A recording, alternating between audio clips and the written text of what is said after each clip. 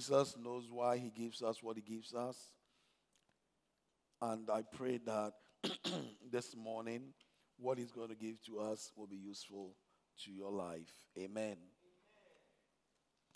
Beloved, um, we have uh, in the last week uh, seen what had happened. Uh, during Easter, we knew that Jesus died and he was resurrected, and through that, we are who we are today.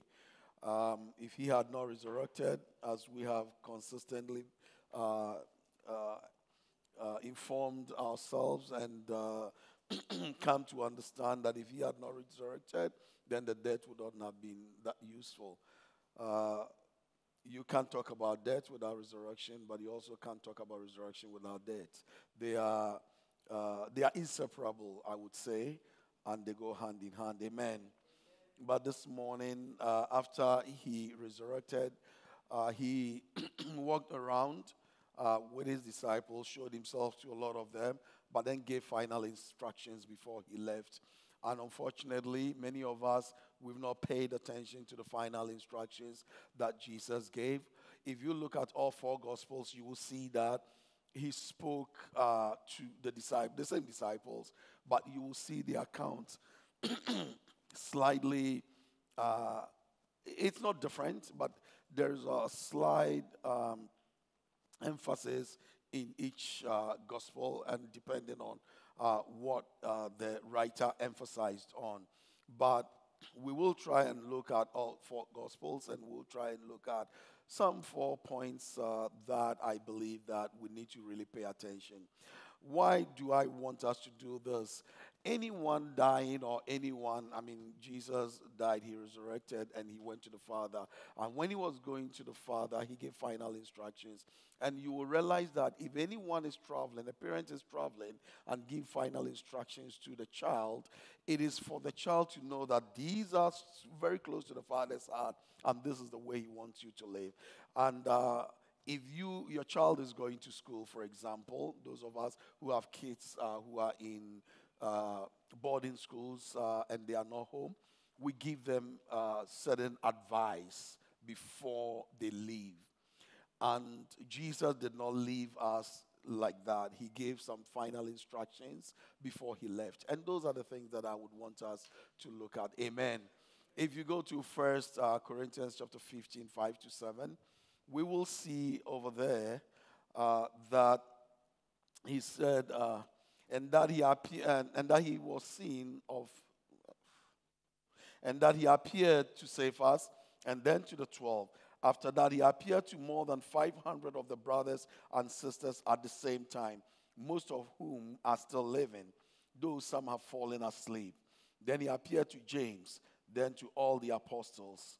Amen and uh, if you add the eight and he said and, the, and last of all he appeared to me also as to one abnormally born.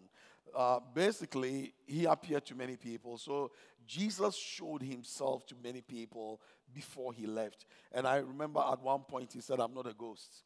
A ghost can eat, so give me food to eat. And he ate with them for them to know that he is not indeed a ghost. Amen. So after he had shown himself to all these people and spoken to them on many uh, at many t- different times, he now began, I mean, uh, uh, I will start from John. He now told him uh, that he was going to leave. I mean, he was going to ascend, and he gave some instructions. Now, if you look at if, if you look at John's account, it's quite interesting, and that's where I'm going to really start from. Amen. Amen. Um, when he appeared, when he met them, Peter had gone fishing with some of the disciples. And if you read it, uh, you realize that there were about seven of them. Uh, remember, they were, they were left with um, 11 because one is dead. Now, he left with um, a, a good number of the rest. And seriously, if you look at what he said, he did not force anyone. Amen. Let's go to John. I mean, it's quite interesting the way he did it.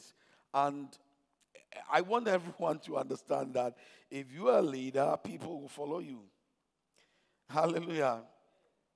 Hallelujah.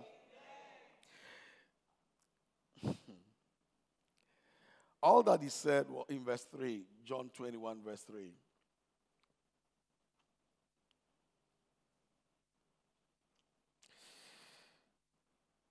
I'm going out to fish. Simon Peter told them, and they said, We'll go. Did he invite anyone? He said he was going to fish. But when a leader speaks, the people follow. I want you to watch because I'm really coming to a certain point that will interest you a lot. Because if the leader, the leader must really lead by example. And if the leader says, I'm going to do something, you realize that his people tend to follow him. So he said, I'm going out to fish. Simon Peter told them. And they said, We'll go with you. So they went out and got into the boat. But that night they caught nothing. Amen. Now, if you go to verse 2, I mean, if you go to, let's read 1 and 2 for you to get a little bit more understanding the number of people that really followed him. Afterward, Jesus appeared again to his disciples by the Sea of Galilee. It happened this way. You know, he had told them that they should meet him in Galilee. That's what he said. So they had gone there, and then Simon Peter, Thomas, Nathaniel, the, uh, the sons of Zebedee, two, okay, and two other disciples, two more. So they were seven. Amen. Now, seven people and one of them says, I'm going to fish. And let us not forget that he's been told that he will fish for men. Amen. He won't fish for fish again. But then he said, I'm going to fish. And his friends followed him to go and fish. Hallelujah. So we need to really understand that when he spoke, although he did not invite them, they followed their leader. Hallelujah. Let's go to Matthew chapter 4, 18 and 19.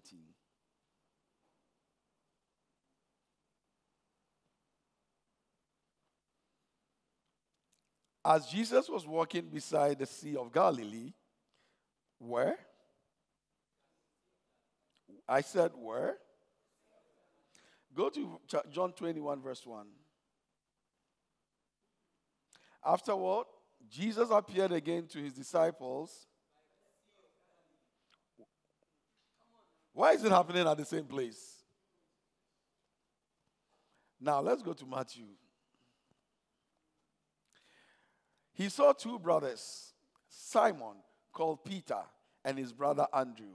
They were casting a net into the lake, for they were. What did then Jesus say? Come, follow me, Jesus said, and I will send you out to fish for, not for. I saw you fishing for fish. But I'm changing your destiny. I'm changing your life. I'm changing your purpose. You're not going to fish for fish again, but you're going to fish for people. Hallelujah. Now, that's where it all started. Fast forward, before ascension, same place. Remember, he's gone for fishing, fishing for fish, not for people. Amen. Also, Jesus, when he appeared to them, what a gentleman he is. He never condemned them, did not say anything, but saw how fruitless their night has been. How fruitless your efforts most of the time are. You know, we, we're trying to really get by our strength. But if you do not follow instructions of Jesus, you will be wasting a lot of your time. He said fish for people, not fish for fish. So if you go fishing for fish, you don't get fish because you can't find people in the sea. Hallelujah. He's going to let you. You see, it, it, the buck stops with him. It doesn't stop with you. It stops with him. So, okay. So Jesus is not around, so I'm just going to really do something. You see, he won't see. Let me go and do something. Let me go catch some fish. And they went to catch some fish. That's quite interesting.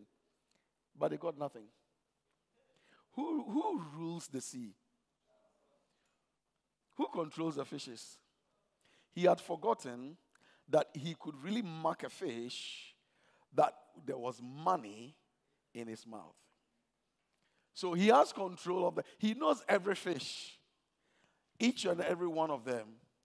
He knows the one that has money in their mouth, and he knows where they are. Amen. Hallelujah. Amen. So he says that, what have you got? Nothing? Okay, just go by the side and then cast your nets. And they cast the net and they got so much fish.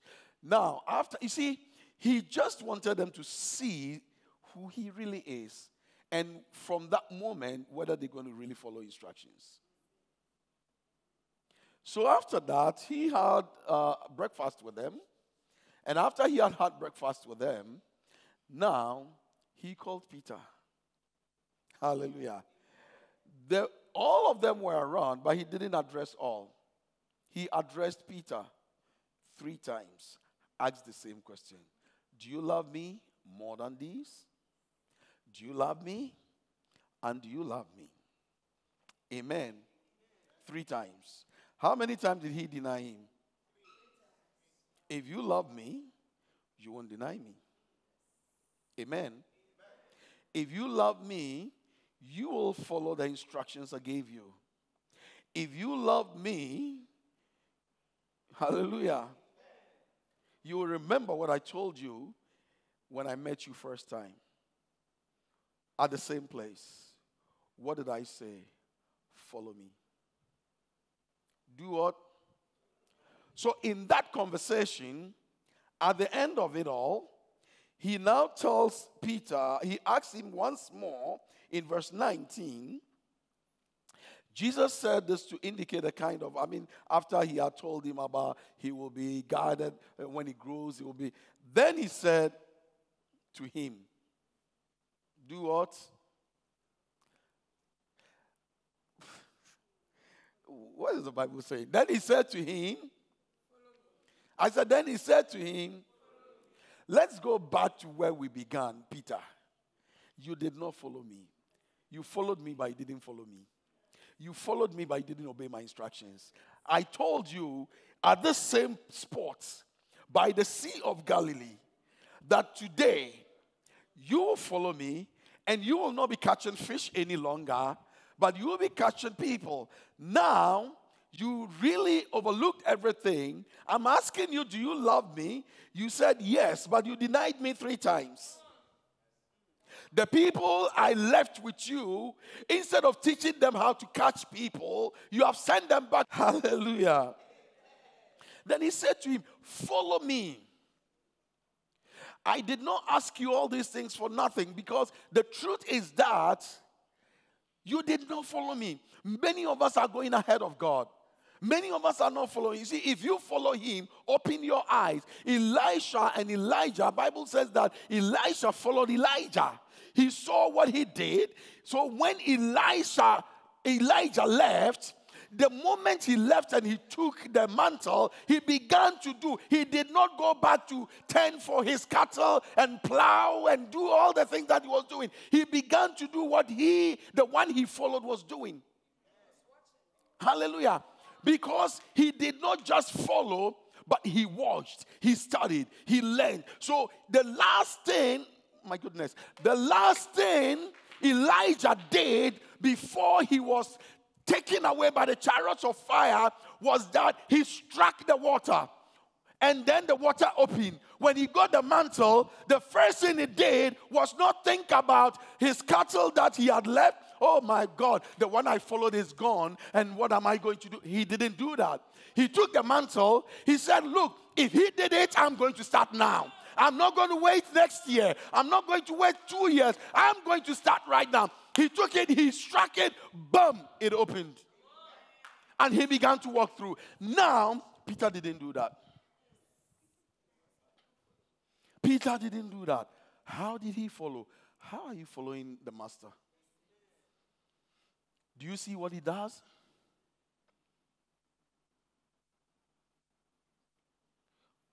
If Jesus, listen to me carefully, if Jesus had not come to this meeting, there would have been a problem. Their focus would never have been on people. They love fish. You love money. Hallelujah. If Jesus had not had this meeting, this last meeting with them, there would have been trouble. He had worked with them for three years or three and a half years, however you want to really calculate it. He had worked with them, he had taught them, he had suffered before them, he had, they had seen everything. Yet, why were they following him? Did they indeed follow? It's a question you need to ask. Were they indeed following him, studying him, understanding what he's doing, and obeying the instructions he had given to them? Hallelujah. Unfortunately, beloved in the Lord, there is a problem in the church today. Amongst us Christians, all of us Christians, we are at a place in our journey with the Lord where we need to pay attention and follow. But many of us are not. Many, many, many of us are not. And, beloved, I don't want you to see me as somebody who is always uh, speaking against the church. I don't speak against the church. But what I try to do is to really help all of us to understand that where we are going is so wrong that we need to change. Because if we don't change, beloved, something worse will happen to us. And it will be at a time we can repent and we can change because Christ is coming soon. And this is not the time to really turn our focus on unnecessary things. We need to focus on the things that really matter. Hallelujah. These were the final instructions. So he made Peter understand in John that, look, I want you to understand this one thing. Make sure you obey this one instruction follow me. Follow me. And you see, when he said, Follow me, Peter began to follow him. And then John, hallelujah, also began to follow them at a distance. Beloved in the Lord, I want us to understand when we are following Him, we need to pay attention. Don't be,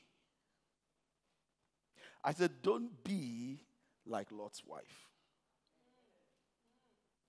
Jesus says, Follow me. And this is what Elisha did, but Peter didn't do. When Elisha followed Elijah, even though he was hearing voices, he did not pay attention to the voices. His focus was on the one that he was following. And therefore, his attention was really, really solidly be- behind him. And he saw and he understood what was happening. So when he asked him, What do you want from me? And he said that I want double portion of your anointing, he said that if you see me go. If you see me go. If you see me go means that you need to pay attention, watch, and follow me. And he followed him, paid attention to the extent that you said you want double portion of my anointing, but you need my mantle. So when he saw the mantle fall, he went for it. If he had been like Lot's wife, he wouldn't have seen. If he had been like Peter, he wouldn't have seen. Peter was troubled and concerned about so many unnecessary things. What is one of them? Jesus said, Follow me. He did not say, Turn around and look at who is following us. These people are not. Come. He said, Follow me. Did not say, Turn around and look at who is also following us. That's not your responsibility. Your duty is to follow me. Look at what I'm doing. Study what I'm stu- I mean I'm telling you and pay attention so that you can do and you will not go fishing again. But even at that moment, he turned around. What about this guy who is following us? Is that any of your business?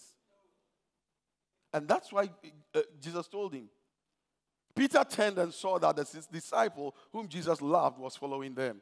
This was the one who had leaned back against Jesus at the supper and had said, Lord, who is going to betray you? Go to the next verse. When Peter saw him, he asked, Lord, what about him? What pass him? Hallelujah. Jesus answered, What pass him? Hallelujah.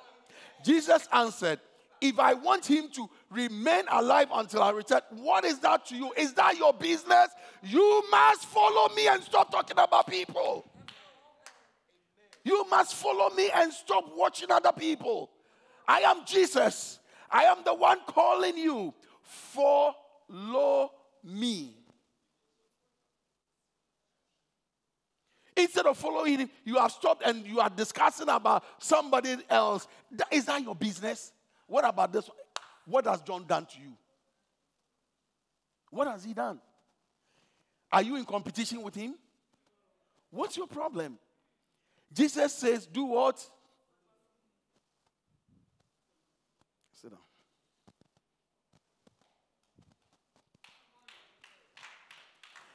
Listen if you don't stop looking at her, yeah, but you see, I've prayed that I don't know why all my friends are buying cars, and is that your business? Jesus said, What? Follow me. Jesus is not interested. Is he blind? Is Jesus, if you can see, what about Jesus? But you see, when I went online, all the people I finished school with, now they are married and, they, and so what?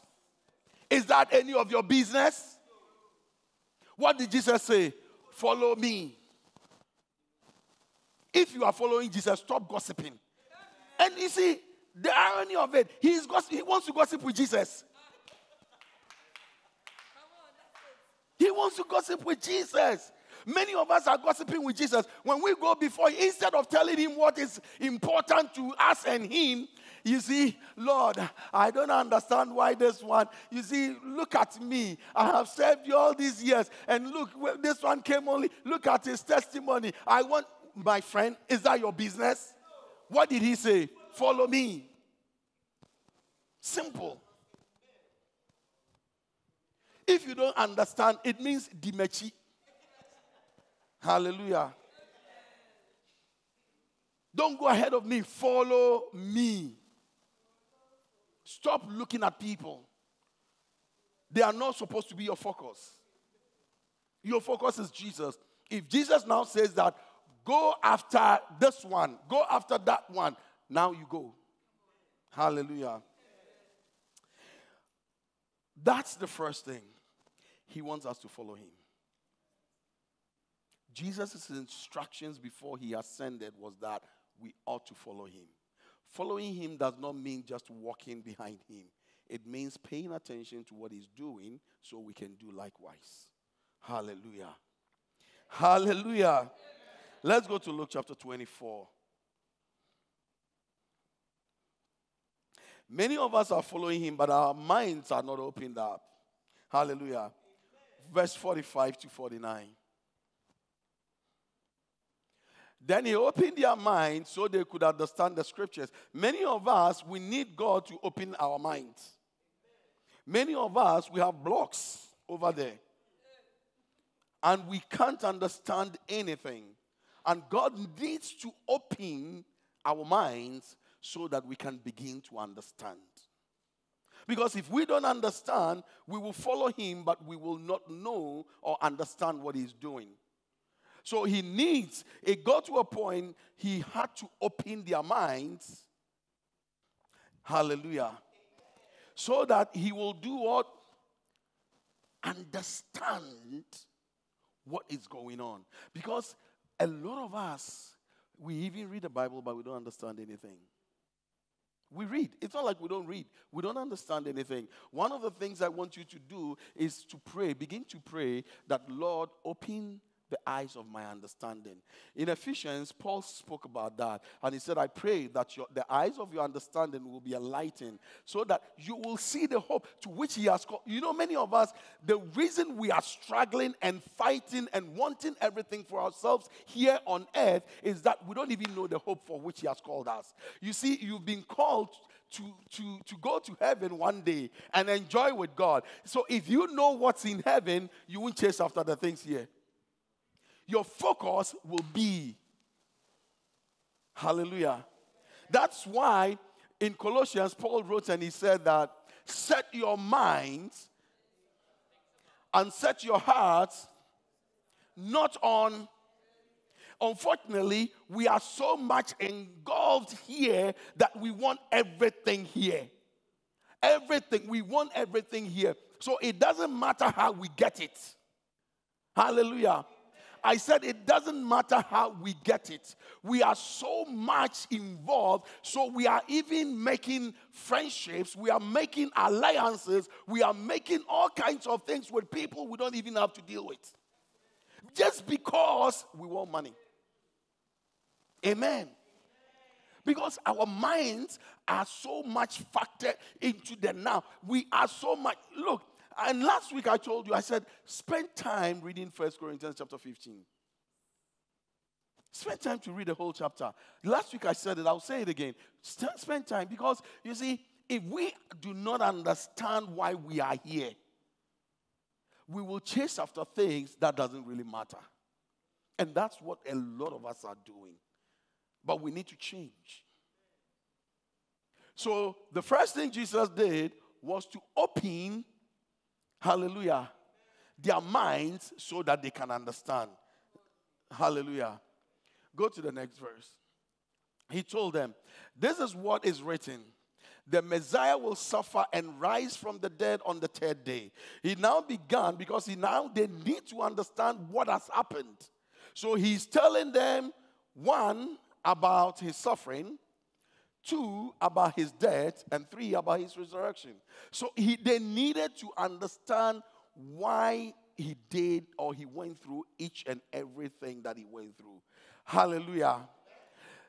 This is what is written the Messiah will suffer and rise from the dead on the third day.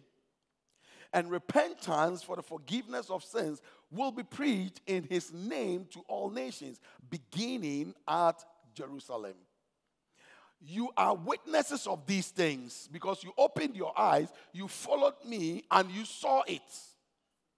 So every instructions, you know, four different, I mean, four different people wrote the gospels, but if you look at the final instructions, they tie in with one another.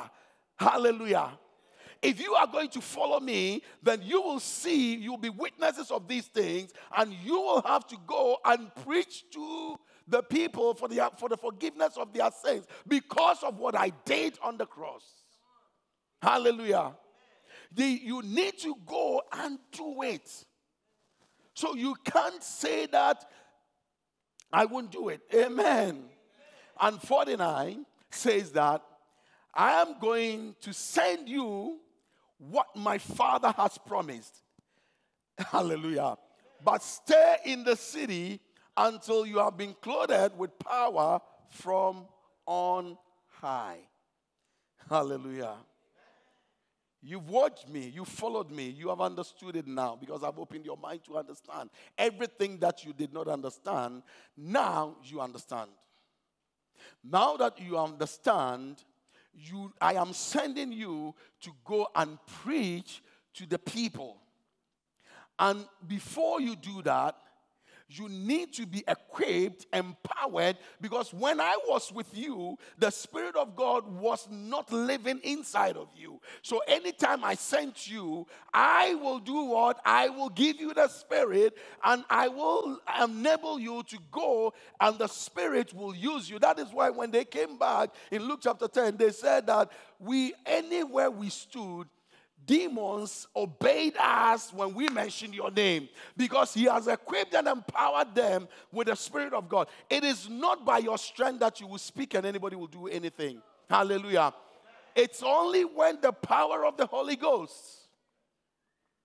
is alive inside of you. Hallelujah. And you are not starving him. Many of us, we starve him. Hallelujah. And if we don't starve him, he is going to manifest himself. Hallelujah. I said he's going to do what? Manifest himself. So don't move, wait, be empowered before you go. Hallelujah. Hallelujah. So the first instructions, we will look at all four later on. But what I want you to really understand is that he said, Follow me, watch what I'm doing. Now I open your mind to understand what I'm doing so that um, you will go and preach. But don't go yet. Wait until you are empowered. Hallelujah. And then you will go and then you will do the things. Mark chapter 16. And I'm telling you, it's all intertwined one way or the other. Hallelujah. Mark chapter 16, 14 to 20. Later, Jesus appeared to the eleven as they were eating. He rebuked them for their lack of faith and their stubborn refusal to believe those who had seen him after he had risen. He said to them, Go into all the world and preach the gospel to all creation. Whoever, now, same go into the world. I am sending you. Now he said, he said, be wait until you are empowered. Now, after you are empowered, he says that do what? Go into the world and preach. And whoever believes and is baptized will be saved. But whoever does not believe will be condemned. Now go to the next one quickly. And these signs will accompany those who believe. In my name, they will drive out. Because my spirit lives in you, these signs will accompany you. Because he comes, he gives you power. And that's why you have to wait. That's why you don't have to go. But wait. Hallelujah so that when he comes on, upon you, he will empower you and you will, these signs will follow you. Hallelujah. And it will follow everyone else who believes as well. Hallelujah. In my name, they will drive out demons, they will speak in new tongues. They will pick up snakes and their hands and uh, with their hands, and when they drink deadly poison, it will not hurt them at all. They will place their hands on sick uh, people and they will get well. After the Lord Jesus had spoken to them, he was taken up into heaven and he sat at the right hand of God. Last instructions go preach. Go do what? And because you will have to wait for the Spirit of God to come upon you, when you go and preach, these signs will follow you. So we are not to preach dry preaching. When we preach, something must happen. Because Bible says that he confirmed his word by the signs that follow them. So he will confirm his word by the signs that will follow you. And that is why it is important for us. You see, we want to do one thing, but we don't want the process that will get us to where God wants us to get to. Sad. Sad. I pray that the power of God will come back to his church. I pray that the power of God will cause signs to follow us. And Jesus will confirm his word wherever we stand to preach. Wherever we stand to talk, he will confirm his word. Hallelujah. Hallelujah. Follow me. Hallelujah. And when you are following me, I've opened your mind to do what? To understand. Hallelujah. Uh, so now, as we follow him, now we understand what he is doing. Amen. I said, now we do what? And he says that after you have understand, I'm going to send you, but I want you to wait and receive this power. And now, if you receive this power and you go on the journey I'm sending you, you will see the signs following you. Hallelujah. And then we go to Almighty Matthew. Matthew 28, 16 to 20. Then the 11 disciples went to Galilee, where Jesus asked them to go, to the mountain where Jesus had told them to go. Next verse. When they saw him, they worshipped him, but some doubted. Then Jesus came to them and said, All authority in heaven and on earth has been given to me. Therefore, therefore, go and make disciples. Now, it's not go and just preach. Make what? Of all nations, baptizing them in the name of the Father and of the Son and of the Holy Spirit. But he doesn't end there. And teaching them to obey everything I have commanded you. And surely I am with you always to the very end of the age. Jesus, oh my goodness, wants us to do certain things. He's saying that go preach. When people believe, signs will follow you. But after the signs that follow you, don't leave them like that. Bring them in, disciple them, nurture them, grow them to be who I want them to be. Hallelujah. And in the process of nurturing them, disciple, discipling them, it is not your words or neither your commands, but my commands. Don't teach them what you think. Don't teach them what you dreamt of yesterday. Teach them my commands, which are in the Bible.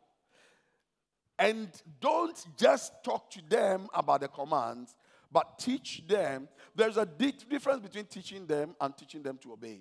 When you are teaching them to obey, you make sure that they obey. Amen. Hallelujah. Amen. So that's what the final instructions he gave were that Christians, we have to follow him. And he's saying that he's opened up our understanding. In fact, when Peter and the rest followed him, they didn't even understand anything. So now he says that as you follow me, I've opened up your mind. You will understand what I mean, why I came, what I did, my purpose here, and what I've left with you. And once you understand that, I'm going to send you. But don't do anything yet. Wait until you receive power. Remember, he had already said that when I go, I will send him. And he has not gone, so he has not sent him. So now he said, I'm about to go and I will send him. But don't rush. Wait. Wait until he comes. Wait until he empowers you. And then when once he, he has empowered you, now you need to move and go and do what I've sent you to go and do. And that is what? Not to get rich. I said, that is not to get rich. That is not to have a good time. Jesus has not called us to have a good time. He's not called us to get rich. That's not our calling. Hallelujah. But he knows what is needful for us. If he wants us to be rich because he needs rich people to do his business, he is going to make you rich. He knows how to make people rich. Hallelujah. He knows where the money is. He knows that he keeps some in the, in the mouth of a fish. He no, you see, who will go to who will go to his fish farm and then put money in his fish's mouth? Who will do that? It's only Jesus. Because if you put your money in the mouth of a fish, he will swim away with it. You are going to be broke. Go and catch fishes and put your money in their mouth and see whether you have money next time. It will swim and go. It is only the one who has power over the fishes who would keep his money in the mouth of the fish. Because anytime he wants it, and he calls the fish, he will come. You know, fishes respond to him. When, when listen, listen, listen, listen, listen. When Jonah messed up, God, Bible says that he commanded the fish to go and swallow him.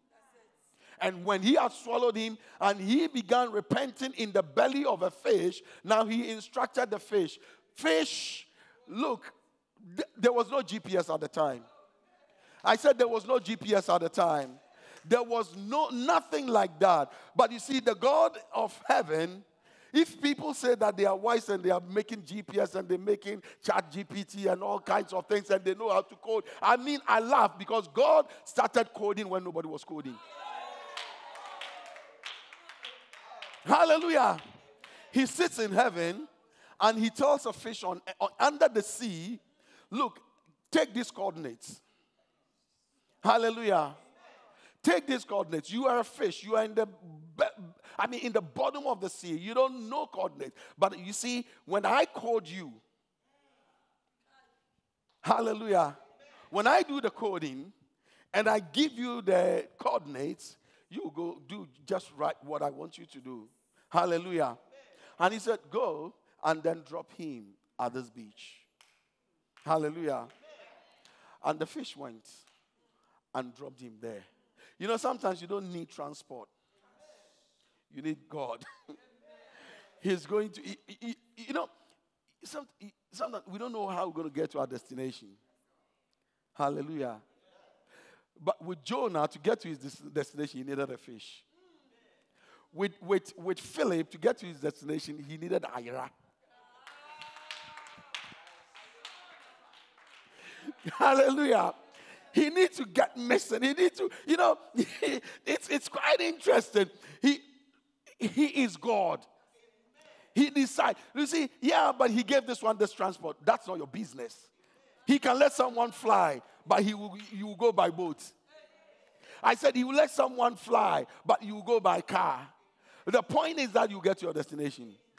That's what is important. Hallelujah.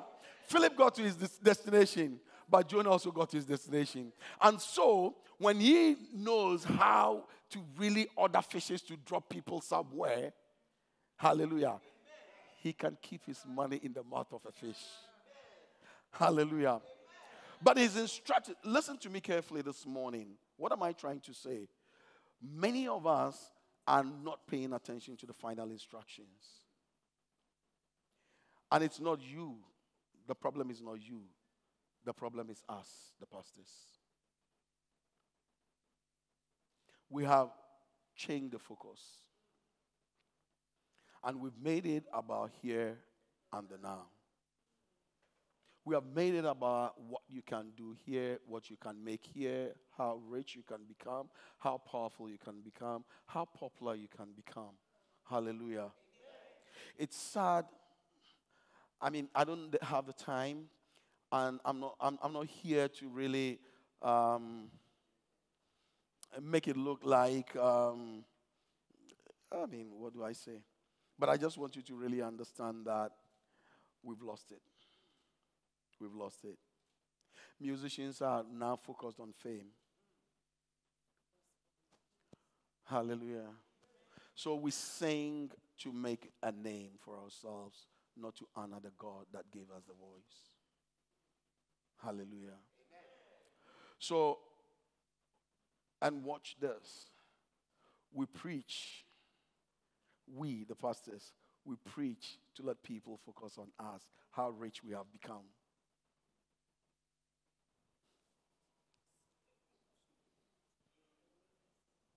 And we talk about our Rolexes. We talk about designer shoes. What has that got to do with the message? We talk about latest cars. We talk about how many countries we have visited. That's irrelevant. It doesn't help anyone. What has that got to do with the message? Follow me. Did Jesus announce where he had gone to?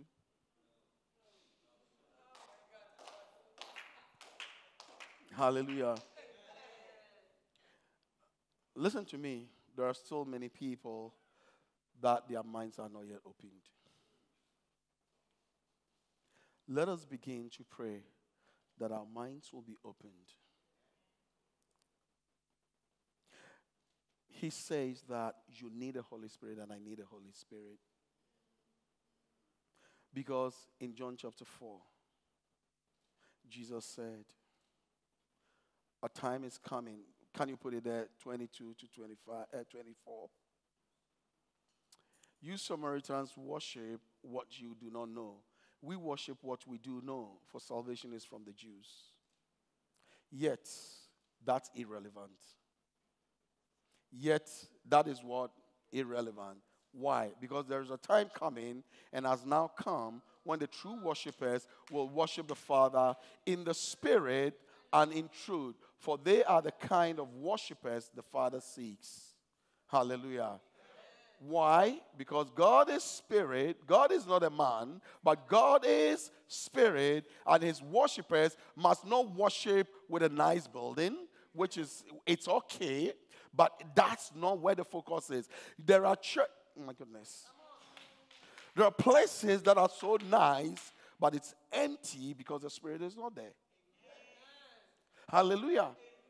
But Jesus said, God is spirit, and his worshippers must worship in the and in not in lies.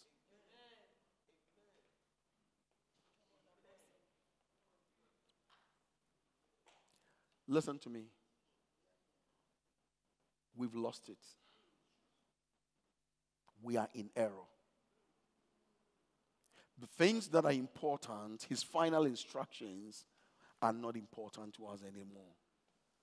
And I said from the beginning that if someone is dying or is going on a journey, he gives the final instructions.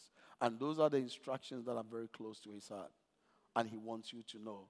Jesus, on this occasion, did not talk about money, did not talk about where you sleep, did not talk about your wife, neither your husband. He did not focus on any of that.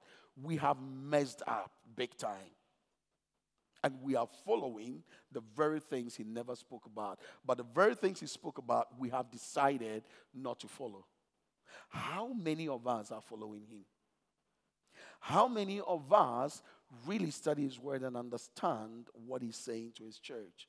How many of us have patience to wait for the Holy Spirit? How many of us are willing to go and preach? How many of us are manifesting the power of the Spirit in the manifestation of the gifts?